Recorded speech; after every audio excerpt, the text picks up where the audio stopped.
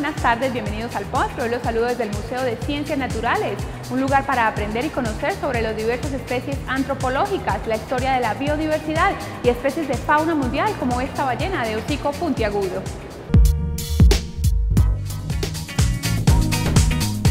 Este museo comenzó con los hermanos de la Salle en 1911. Ahora hace parte del proyecto cultural del ITM. Al iniciar el recorrido se puede apreciar un cocodrilo, aves, micos y por supuesto el impactante esqueleto de una ballena que fue donada al museo en 1959, luego de encontrarla encallada en el Golfo de Urabá.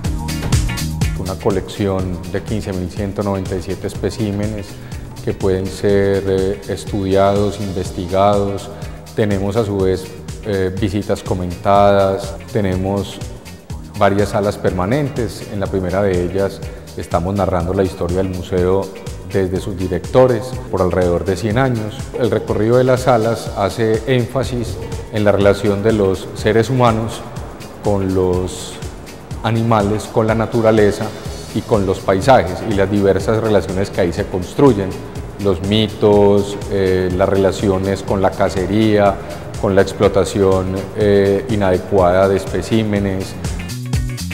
Un lugar para maravillarse con la ciencia y entender sobre la evolución de las especies y el ser humano. Además de la muestra de diferentes especies, el museo cuenta con documentos científicos para la consulta de estudiantes e investigadores. El museo tiene eh, una serie de colecciones que son únicas en su carácter, en nuestra exposición permanente podrán observar un colmillo de mamut, podrán observar algunos de los primeros especímenes que los hermanos colectaron. De igual forma tenemos los murales del maestro Salvador Arango.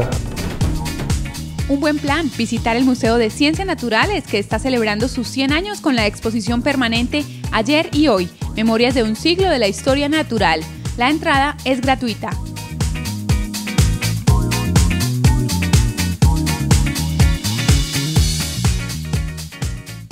experta de moda francesa nos habló sobre la propuesta de vestuario femenino con inspiración europea y romántica.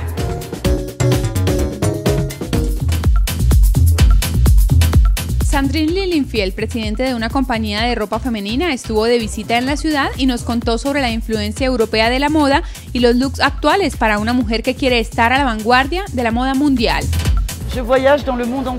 Yo viajo en el mundo entero. Euh, Et aujourd'hui, la, la, la, mode n'est pas européenne. Hoy en día la moda no es euh, europea, la moda es mundial. Et, et, même quand nous allons euh, eh, también cuando Chine, vamos a China, Japón, a Japón, partout dans le monde, en cualquier parte del mundo, notamos hoy que las tendencias de moda son compartidas. En fait, Luego hay especificidades locales en Sudamérica.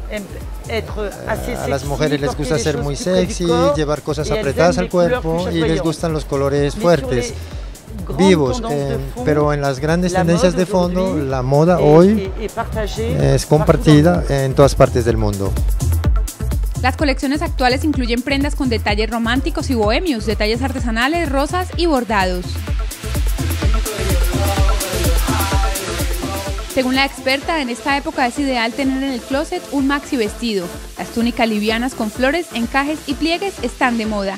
Además, lo opuesto, como los pequeños shorts de colores vibrantes, blusas románticas con vuelo y faldas en A.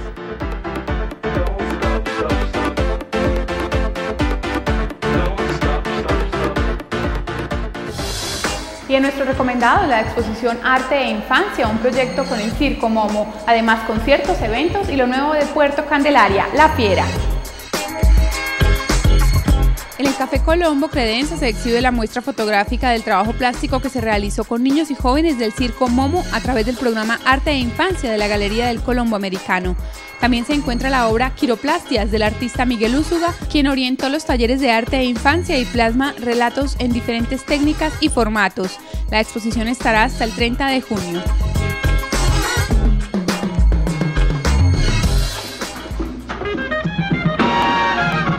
Próximo viernes 25 de mayo a partir de las 8 de la noche, el Salón Gran Chablis del Hotel Dan Carton recordará los mejores temas de Lucho Bermúdez, interpretados por la Tropibanda en una noche de nostalgia y corazón a favor de la Fundación Saratobón. Este es un homenaje en el marco del año del maestro Bermúdez, decretado por el Ministerio de Cultura. Tolú, Salsipuedes, Carmen de Bolívar, Colombia Tierra Querida, Borrachera y San Fernando, entre otros, animarán esta noche de bailoteca benéfica. Los recursos que se reúnan serán para contribuir al mejoramiento de la calidad de vida de la población con discapacidad y sus familias a cargo de la Fundación. Y esta tarde a las 6 se realizará la conferencia El laberinto de las emociones en el auditorio de la Clínica Las Vegas. Este será un espacio de reflexión en temas como la ansiedad, la depresión y el aburrimiento. Una charla para aprender cómo funciona el cerebro y para controlar las emociones y transformarlas positivamente.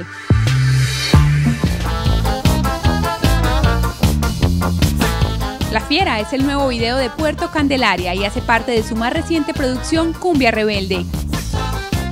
Bueno, Puerto Candelaria estamos felices en este momento lanzando nuestra nueva, digamos, nuestro segundo sencillo llamado La Fiera con el videoclip, un videoclip que nos divertimos mucho haciéndolo y, es un videoclip que realmente nos está invitando al juego, a la risa, a la reflexión y es muy de la especie de, de los colores que utiliza Puerto Candelaria en su música. La producción del video deja ver un poco de mezclas técnicas como tracking y cámara a hombro y la reflexión sobre el tema de los menores involucrados en el conflicto. La segunda, digamos que el segundo sencillo, La Fiera, es un ritmo muy ska, muy, muy rico para bailar. Eh, digamos que a diferencia de, Cumbia Rebelde, que fue el, primer tema de nuestro disco, eh, utilizaba más los ritmos colombianos, con mezcla con la música de los Balcanes y la música es como gitanas. Entonces muestra cada, cada disco que lanzamos o cada canción muestra una diferencia, unos estilos, pero generalmente es felicidad.